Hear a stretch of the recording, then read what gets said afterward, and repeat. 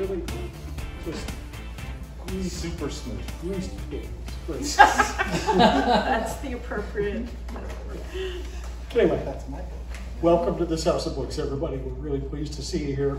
We have a special author tonight. We have Elisa Lorello, one of our very favorite authors, and we have a very special person to introduce her. It's her award-winning author husband, Craig Lancaster. Hi.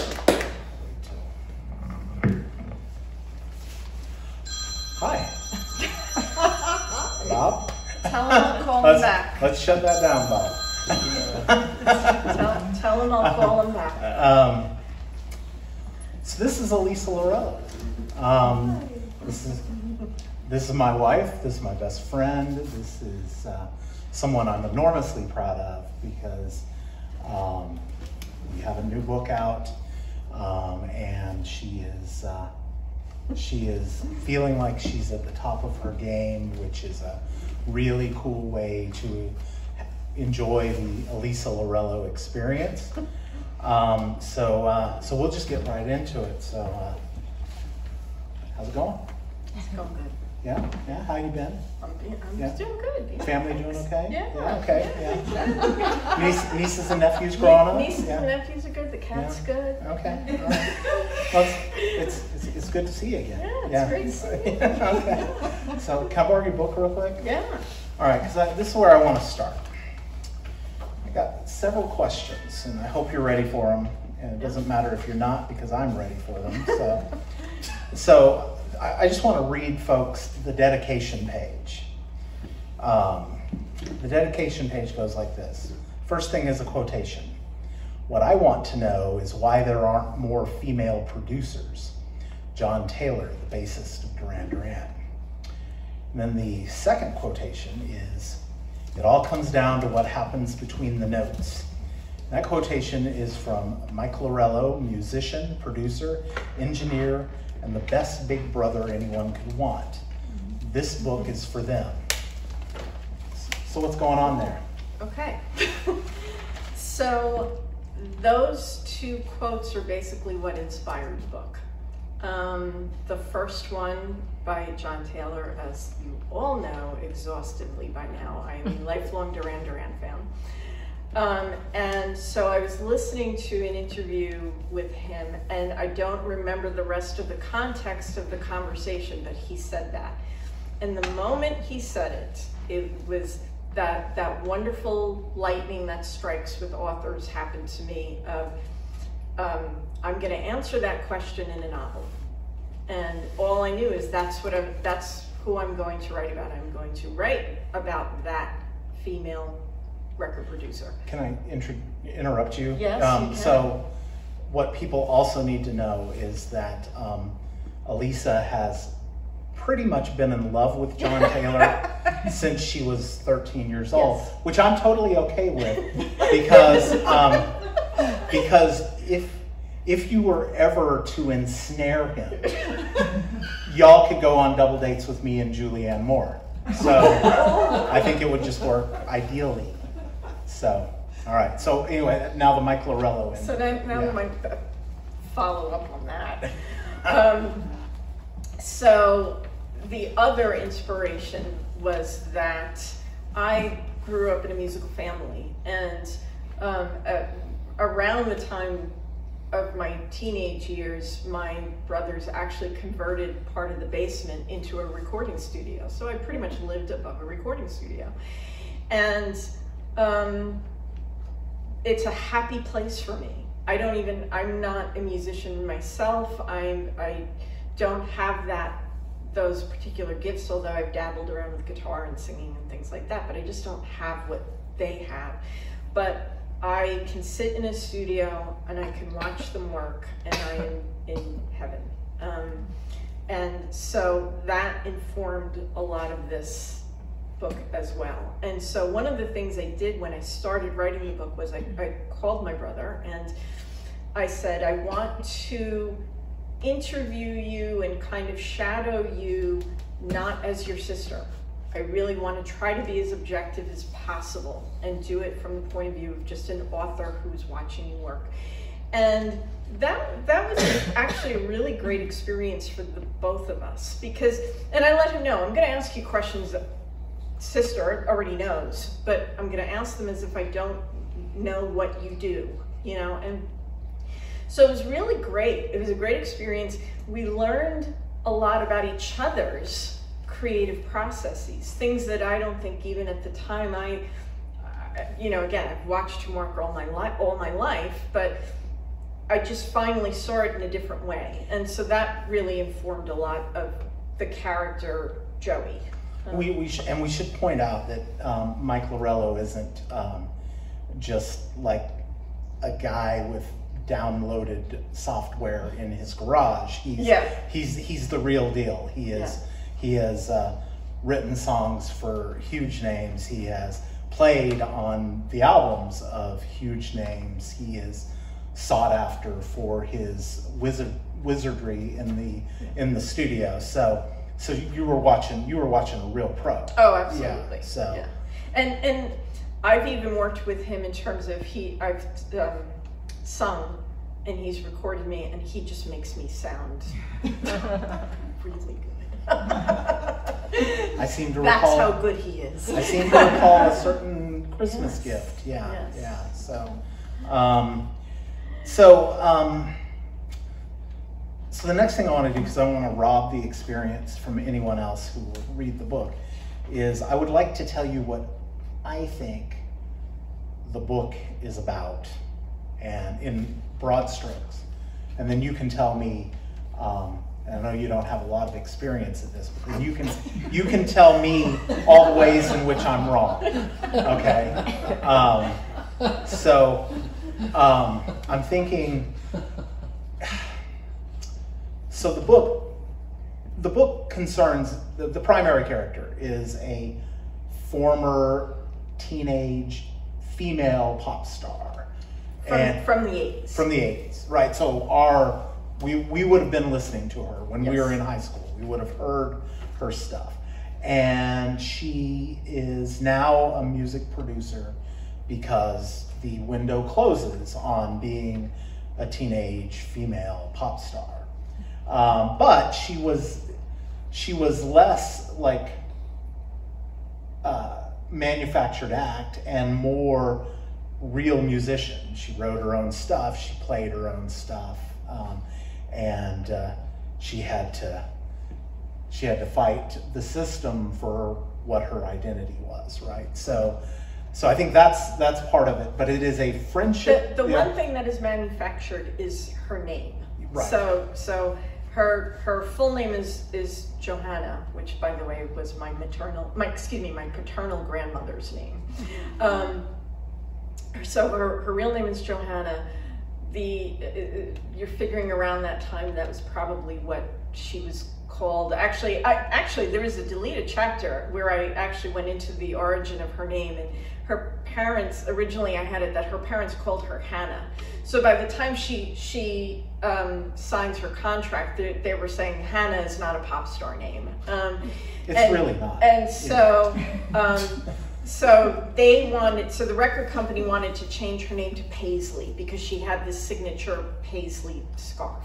Yeah. And so that, so, so as her teen persona is Paisley Parker and um, which Joey, is, which is a pop star name, and yeah. she she eventually uses Joey. And again, this none of this backstory actually made it into the book. This is things I, I wound up taking out. But she eventually goes with Joey for two reasons. One is that, and we're going to talk about the next yes. thing, so I'm going to segue into it. But one thing is um, her beloved uncle called her that would call her Joey. And then the other thing was because she was kind of going into out of the spotlight and into the studio, she wanted a more masculine name. So she figured until they see her face to face, they're going to assume Joey Parker is a guy and that they're going to want to work with a male producer. Right. So. Which which does lead into the next yeah. thing. So I would encourage everyone to read the review of the book at the This House of Books uh, website.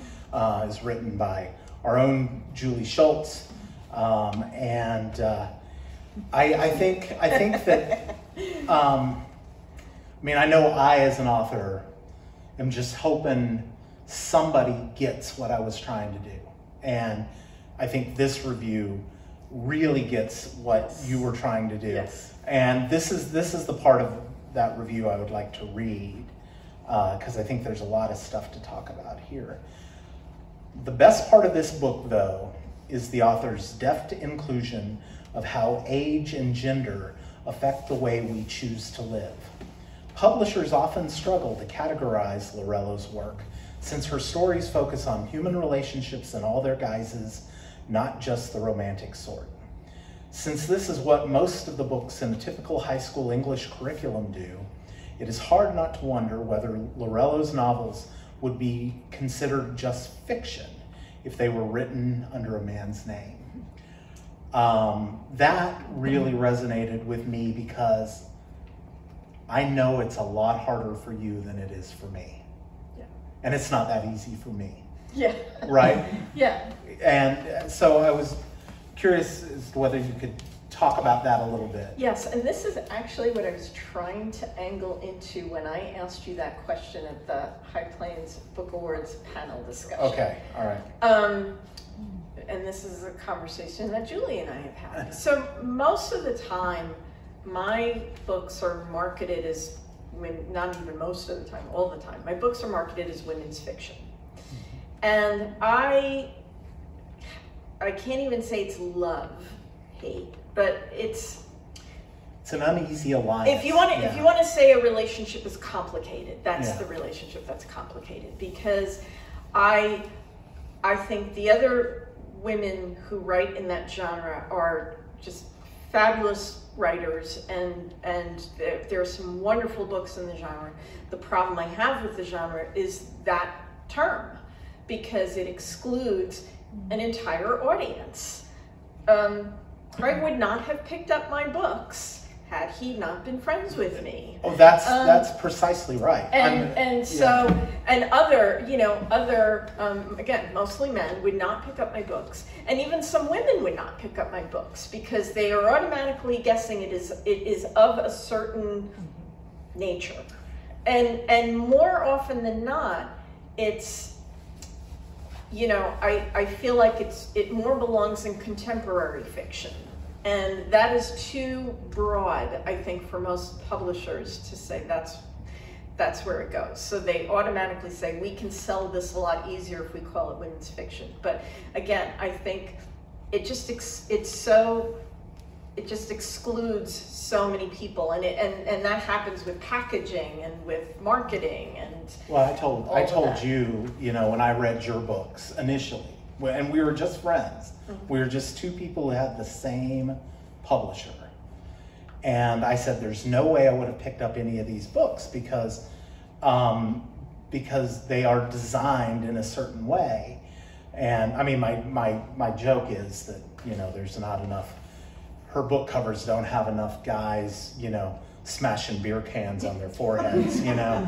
Uh, but that's not even that's not even really it. another It's- guy once told me are there car chases in it Yeah, yeah, yeah, yeah. Does shit get blown up? Um, yeah. So, um, but then I so then I read it because you were my friend, and I realized that you know you have you have these stories, every single one of them, and I know just like anybody else, there are ones that you feel like you executed better than you did than others, but every single one of them is this heart thumping, blood pumping, you know, fast moving story, but there is a real layer of depth under all of it.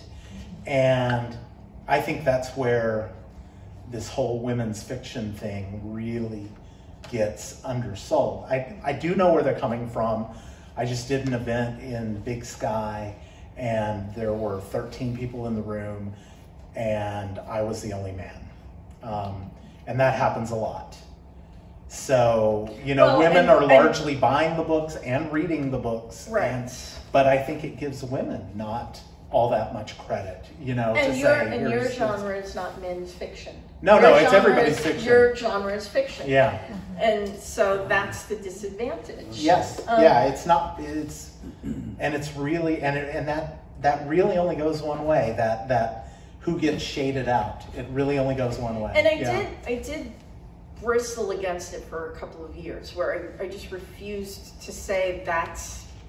You know, somebody said, "Well, what are your books are about?" Or where, you know, where can I find your books? And I would say, and I still say, well, they're marketed as women's fiction. So I still kind of start with that. Or they're marketed as romantic comedy. And some of them are definitely straight up rom coms, and I'm fine with that because I chose that. Um, but um, for a while, I, I definitely bristled against it, and I was kind of trying to make my own, make up my own genre, which I called romance rhetoric, which actually was, a, which, which a, an actual rhetorical scholar actually came up with that, and I'm like, I'm going to use that. But then you realize there's no, there's never going to be a shelf in this house of books called romance rhetoric, Right. and so I, I pulled, you know, I, I kind of stopped you know, kicking and screaming and, and stamping my feet and said, all right, I'm just, I'm, I'm going to go where, where the market is telling me to go, but I also really want to try to reach as many people as possible with what I write. I, I, have always thought we should take the fight to, and, and no offense to Julie and Mark and everybody else at this House of Books, which is the greatest bookstore.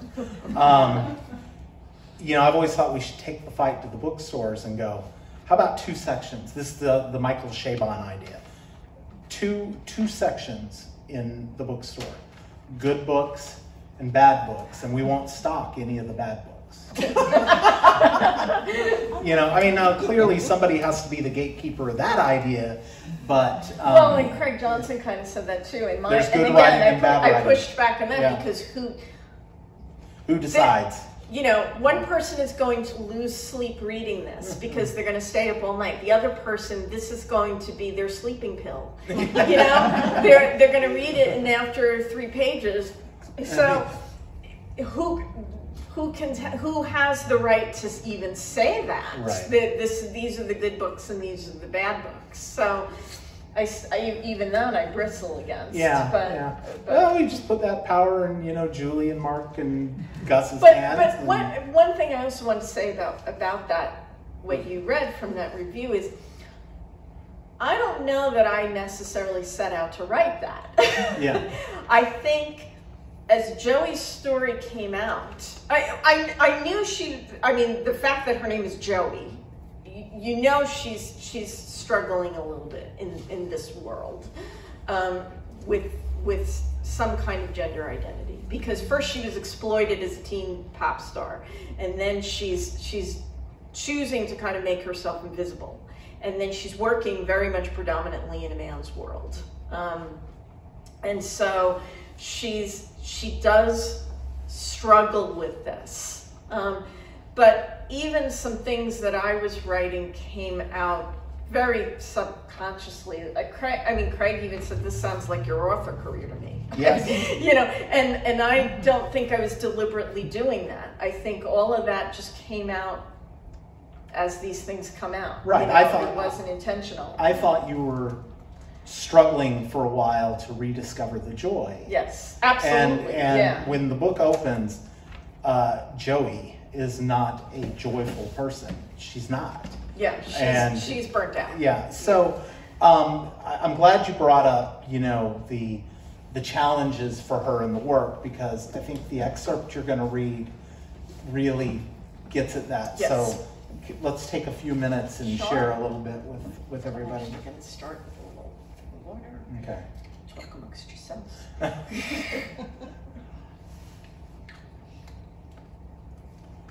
Okay, so I will set the scene a little bit for you. So, um, Joey has a, uh, much like my brother does now, she has a professional recording studio in her house and in her basement. Um, and so, um, this uh, band that she has Loved her. whole loved life. her whole, or started to, you know, loved in adolescence until she became their peer. Um, uh, just so happens to be a British quintet. Yeah. Um, and and um, so th- so they have asked her to produce this album for her. So they're they're kind of they they haven't had as great a career as the other band that I that I love. Um, so they so they're trying to kind of make one more comeback, and so they've asked her to produce the album. So they they started in her studio, but because word got out that that they're there and, and her studio is easy to locate. There were fans showing up at the door and stuff. So they decide to move to East Hampton, um, where the bass player lives. Um, this takes place on Long Island, by the way. Um, and so they, they, the bass player lives there and they convert kind of his living room into a recording studio. Um, so they have moved the sessions there so they can resume their, their productivity. Um, so I'll, I'll, just introduce a couple of characters that are going to be referenced. Oh, first of all, I am not doing English British accents. I don't have that range. thank, you. who's that girl? yeah, who's that um, girl right there?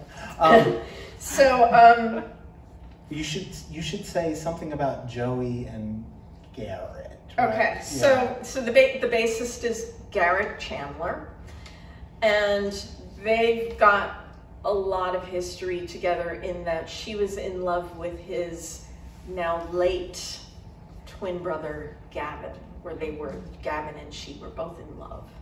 That's all I'm going to say about that. Right. Um, so the the previous album, um, and this band is called Taro by the way. And the and the, the previous album was called Been Too Long, and that's the one that just completely flopped. Um, and so this is why they're asking her to work with them.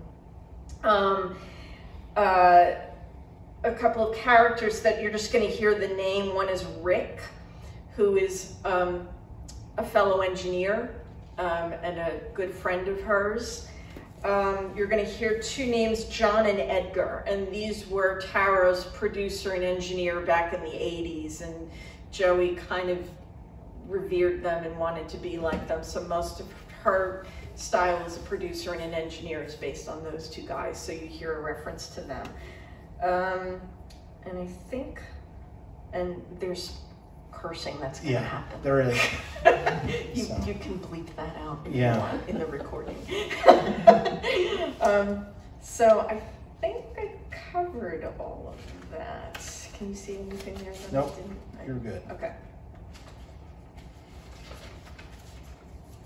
So, and one more thing I'll say is they're well into the recording process now. Okay, and things are just getting a little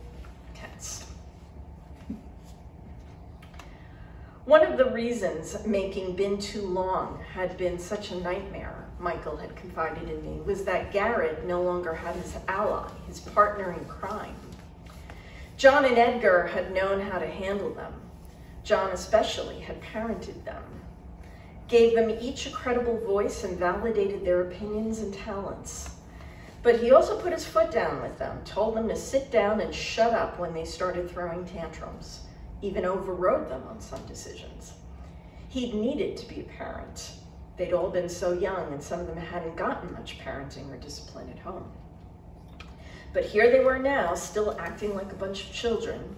The latest blow up was over a simple guitar chord that Garrett wanted in the bridge of one of Johnny's songs. It's a diminished seventh, you wanker, Garrett yelled at Johnny at full volume. Learn your bloody scales. I know the bloody scale and I know the bloody chord, Johnny hollered back, but it's a pop record, not a jazz solo. right, God forbid we make a pop record that's, you know, good for a change, said Garrett. The C minor is fine, Garrett, said Michael said. Spoken like a true Julie, said Garrett, his derogatory term for musicians who were classically trained at the famous Juilliard School of Music. Michael wasn't one of them, but he might as well have been. God forbid we stray from the technically correct into something exciting. It is not fine, he thundered. It's bloody boring. Oh, for fuck's sake, I said, exasperated. Johnny forcefully removed his guitar strap from his shoulder and set the instrument in its holder. Are you leaving? said Garrett, baiting him. I'm going to throw you through that bloody glass if you don't knock it off, Johnny yelled, pointing at the picture window. I stood up. Enough! I turned to Johnny. You, go cool off. Jump in the pool or the ocean or something. Watch out for jellyfish. I turned to Garrett next. You, into the kitchen with me. Then to Ian and Michael. You, don't say or do anything to piss me off in the next 30 seconds. Finally, to Rick, I said in as calm a, a, a voice as possible, Can you find me some Advil, please? sure, he said before he muttered under his breath loud enough for only me to hear, Can you find me a flamethrower? Bless Rick. He stood and set off in search of a medicine cabinet. I pushed Garrett into the direction of the kitchen. Once there, he leaned against the island. I retrieved a tumbler from one of the cabinets, filled it to the top with water, and took a sip. Then I approached Garrett and threw the water at his face. He grimaced from the shock as well as the impact while I refilled the tumbler. Bloody hell, he said as he wiped his eyes, the water beads down, dripping down his face and from the ends of his hair.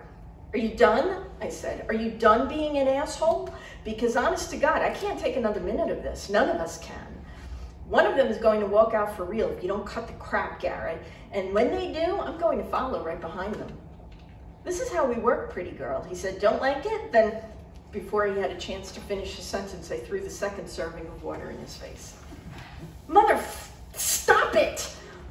I am not your pretty girl. I am your producer and your colleague.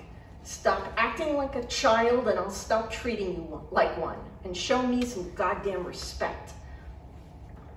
This was what happened when I worked with certain guys. I swore and cursed and got in their face, especially when they condescended or were downright misogynistic to me.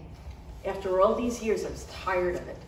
This is why it's your last album, I told myself, because you don't need this shit anymore. You never did. Stop taking their side all the time, Garrett screamed. I need someone on my side. I need someone on my side. His face crumpled up, and he buried it in his hands and cried. It was about Gav. It was always going to be about Gav. I silently chided myself. I should have known. I did know because it was my job to know. Thank you. Um, I think uh, at this stage, because um, I'm gonna, I've got something I can't watch down. We should take questions. um, so I don't have to say anything. But except, except that I will say again. I always hate the question of, well, you know, what's your book about? Because it's easy enough to say this book is about a former pop star turned music producer who's trying to guide a uh, seemingly washed up band back to the glory days. And that is sort of what it's about, but it's not all of what it's about. And uh, it's there's there's a whole emotional arc that's just I mean, I'm, I'm biased, but I think it's one of your finest books. Thank you. So, questions? I'll have comments. Yes. When I was here last Friday, I asked about, well, what, what are your books or what? Yes. And I think what I got back, I'm not sure if it was Craig or you, but it was, uh, I think something like made me think of Harlequin romance books. Yeah. Oh, I no. Never read those. Never. It's they're No, no, not. But it made me Yeah. think because Yeah. so I think it was that uh, that genre box of Yes. you know, and I read books about um, spies and Yes. murder mysteries, and that doesn't bother me. There, there's always a little bit of crossover because yes, I do write love stories, and yes, they are primarily, you know, it's a heterosexual love stories between man and woman, you know, that type of thing. Um, but my books are not romance per se. There's a, there is there is a little bit of crossover, definitely, Right. but you will not see them housed in romance. They're really not. They're and if somebody is putting them in romance, it's because they don't know where else to put them. Um, But I'm glad that's why I came because I thought Yes. I need to find out about this. What is this really about? yeah. Well, Well, I'm glad you did. and, and in almost every case, the love story that parallels the, the boy girl love story is the is the main character, which is usually a woman, learning to love herself. Yes. And uh, um, and that's where I think the big emotional sweep. I mean, there's a in. lo- love story between her and her uncle. you know? Oh, yeah, And- yeah. And, and, and, and obviously, I don't mean that in romantic sense, but there is a deep, deep love Right. for her uncle, um, who is also um, passed.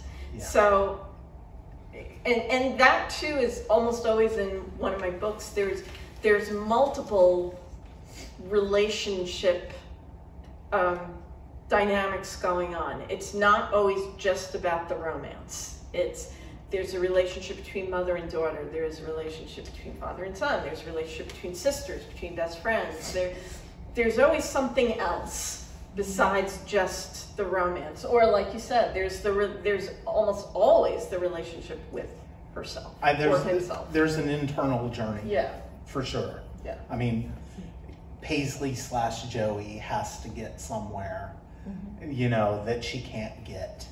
Um, Garrett isn't going to get her there. You know, memories of her uncle is not are not going to get her there.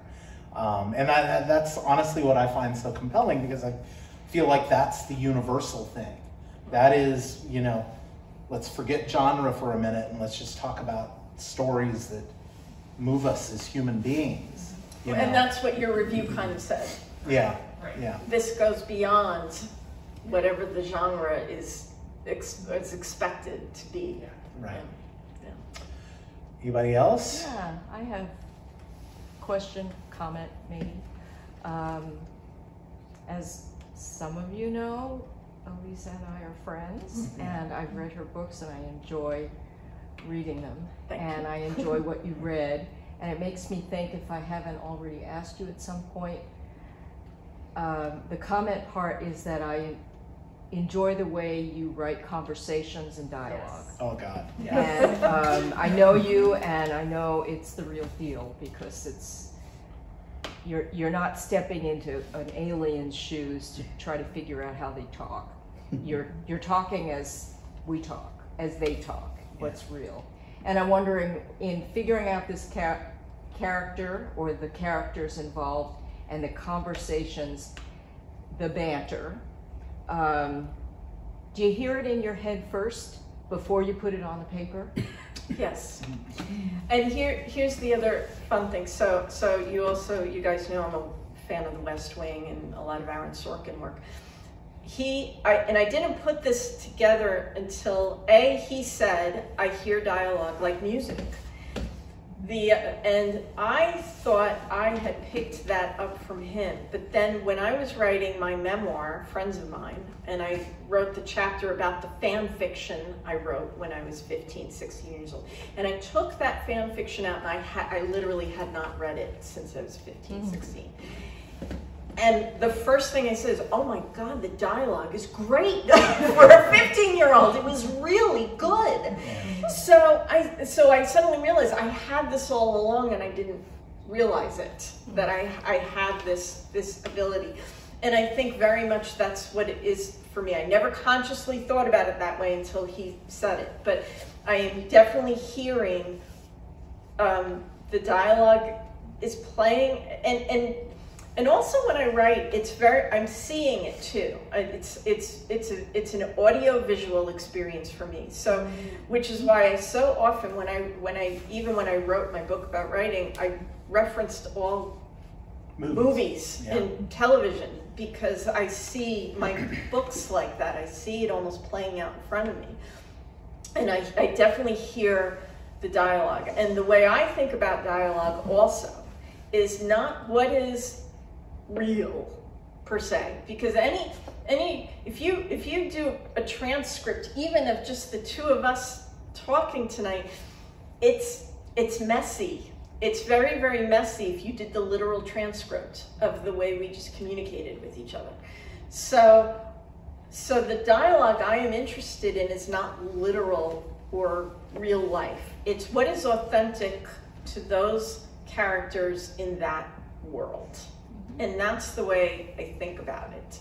Um, and I very much play it, I listen to the intonation. I listen to the rhythm. I listen to how they are, the pitch, you know, how, how they even say what they say.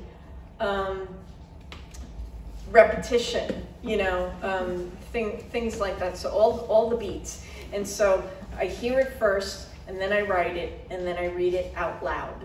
I was just gonna ask you that, Yeah. if you read it out loud, maybe record it and to yourself to hear how it scans. I don't record it, Okay. but I definitely read it out loud. Or I'll even read it to Craig sometimes. Yeah. And I'll say, what, what does this sound like to you? Is it, We'll both do that, and Yeah. we'll, you know, we'll go. Hold on a second, I got to make a note because Yeah. there will be something that's discordant, and uh, you know, you gotta, you gotta notate that you're gonna have to fix it because you'll forget about it if you don't, if you don't stop right then. yeah. Um, if there's nothing else, I think we're gonna let uh, these folks load up with books and uh, goodies we have. Yeah. Well, any, are there any and- other yeah, questions yeah. or comments?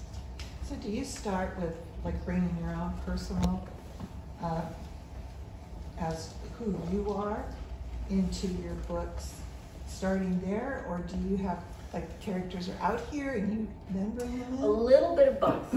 Um, and, it, and, and, and actually, sometimes that even depends on the story. Um, but I have to have empathy for who I'm writing about. And there's always something I'm connecting to. It could be an emotional experience that they're having that I didn't necessarily have. I didn't go through what they went through precisely, but I connect to their, their how they deal with the loss, for example, um, or something like that. In this case, because I grew up with musicians and, and things like that, it was very personal to me. And so I was really, really able to connect to Joey's. She has that same love being in a studio. Of course, she's the professional, and she's she's the expert, and she, you know, uh, has the impeccable ear. Um, but I know, I know what she's smelling. I know what she's seeing. I know what she's, you know, what's tactile to her in that space. Um, so that's what I brought to her. But obviously, I didn't have any of her other experiences in the way she did. But again, this was more subconscious. But what I was kind of going through in my own author career, I think came out in ways I didn't Right. set out to do. Um, and especially, I, and by the way, also, I started this book in 2014. And It's been a long. for, for a number of reasons, some professional, some personal, it kept getting pushed to the, to the back burner. I finally, I, I took it, I thought it was going to be a much longer social media break, but it wound up being three, three months, but it was a very, very productive three months. I took three month social media hiatus, and that's when I, and that was in 20, at the end of 2020, and that's when I picked up this manuscript. And I never, ever stopped being in love with it but it it took on a new dimension that now I had both her maturity and my maturity came together, and so I was able to write If. I can add just a little bit to that, because this is something we talk about Yes. a lot, and in fact, And we're know, that developing. I know what you're going to say. we are developing a, a workshop around this idea. So I have to give credit where credit is due first because Larry Watson, who wrote Montana 1948 and Let Him Go, which is was a Costner movie, and he's just written a lot of really fine books. He said this in an interview with Montana Quarterly. He said, I don't write from observation, I write from memory. And then I take the memory and I transform it with imagination into a truth that is uh, that is useful for fiction. And when I read that quote, I went, "Man, I'm glad we got writers in the world because I could never put words to to how that works." But it's absolutely the case, and I think in this book in particular, um, but really all of all of your books and certainly all of mine, there is that little little kernel of memory that just that is your way in. And then you and then you go to work on it with a hammer and tongs. And at the end you end up with this thing that is not at all what the memory was, but is every bit as true as the memory Right. was, even though it's fiction. I mean, it's really it's there's a lot of ins and outs to it, but to me, that is you know when I'm struggling with the work, it's because I'm not connecting with that, mm-hmm. and when work is going well, it's because I'm in full connection with that. And so, and I think the same is true Yeah. of you. And you know, when you were not finding the joy, you know, joy was your your pathway to empathy and everything else Right. you needed to feel feel. And uh, welcome back, because yeah, yeah. So thank you all so much. Yes. Yeah. Oh, do you have a question? Well, I do. Yes. e- Years ago, I remember being at something over at, at the theater that's on Montana Avenue. Not Art House, but, Is it Nova? no, no, n- no, it's, it's the actual theater. Oh, oh, But, um, and I can't even remember the book or anything, but it's like, um, I know that, that, Elisa, you're not from Montana. oh. Right. And, How did you know? well, I just, we don't have a lot of music producers in our Yeah. basement, so it's shortage I guess. But I'm, I am interested in, you know, you're 15 or 16 year old, years old, and you're writing fan fiction, which, I mean, I'm, I'm kind of inarticulate, stumbling sometimes, but I mean, it's kind of, so this has been, you knew you were a writer Mhm. when you were 15 or 16. And so, and you're here in Billings and, you know, list of books. And so how did you nurture that starting when you were 15, 16? What, what, That that's a great question. So how how did I nurture this writer in me? I think is what you're asking. From the age of 15. And honestly, the answer was it took another 15 years before I really did.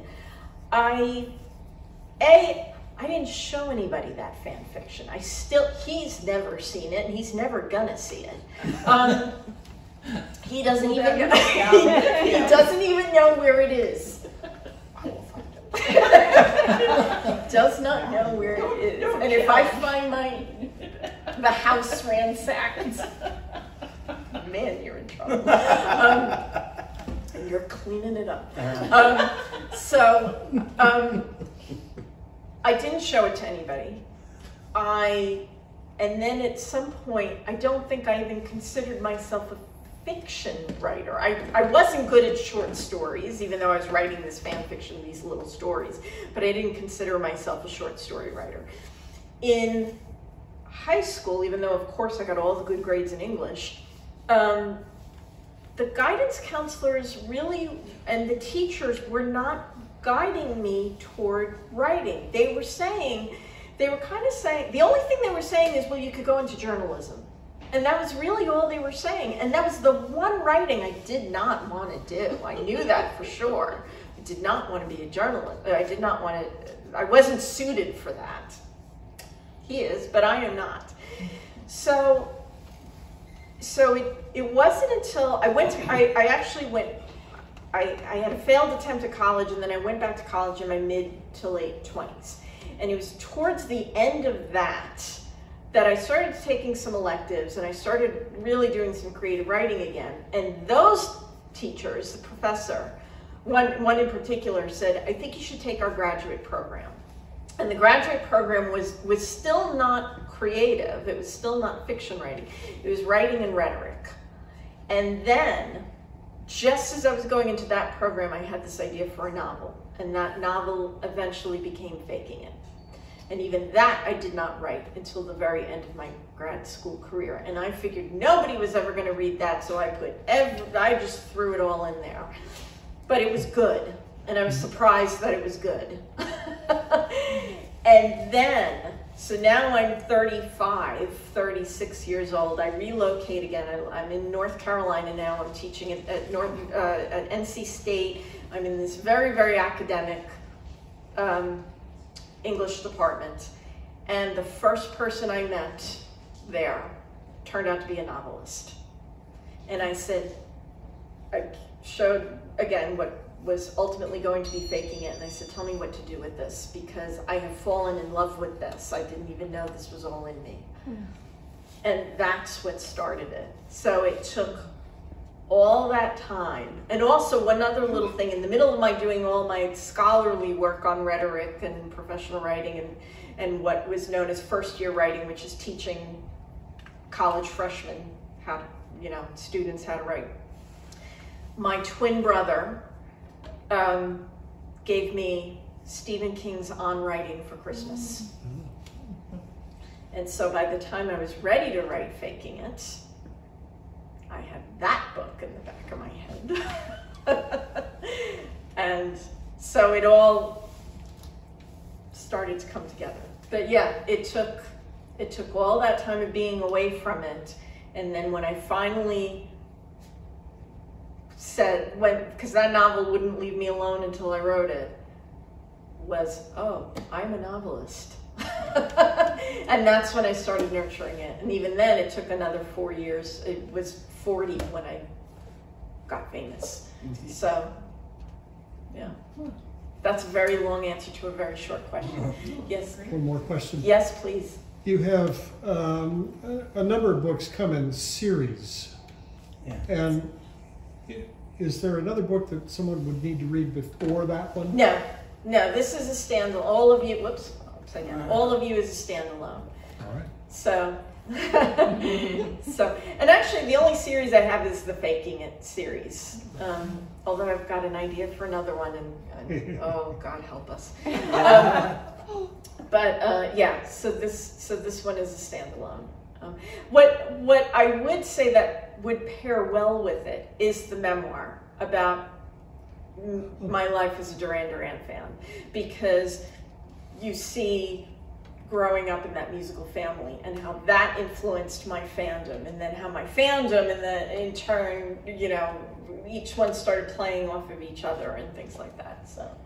Yeah, yeah, and there's surprisingly little like, oh, John, you heartthrob in, in the uh, in the memoir, which you know, good job. yeah Staying away from that. Yeah. yes bob So what genre did they put that one in?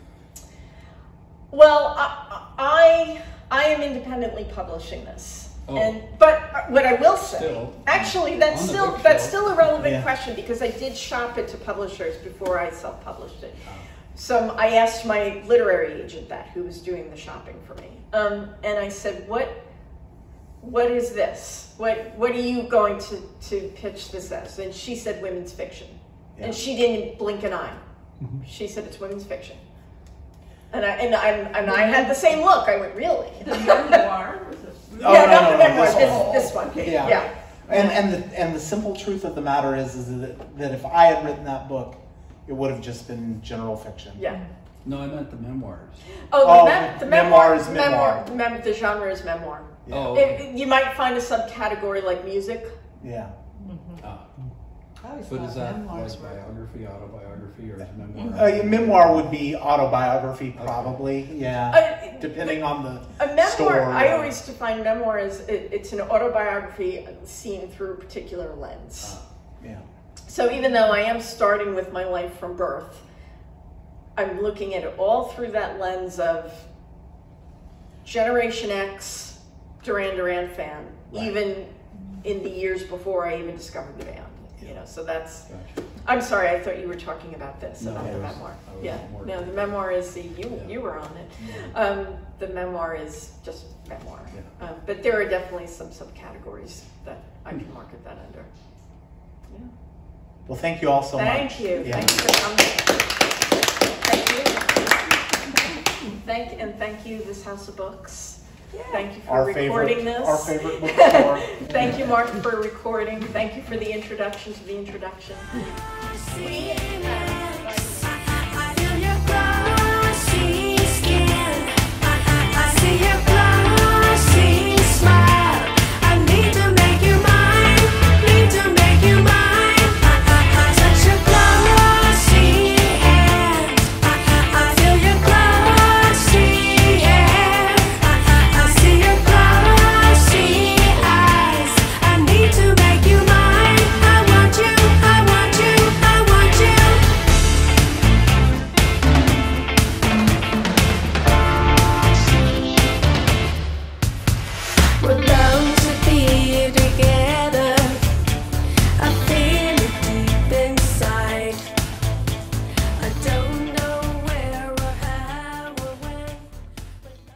This has been a production of This House of Books.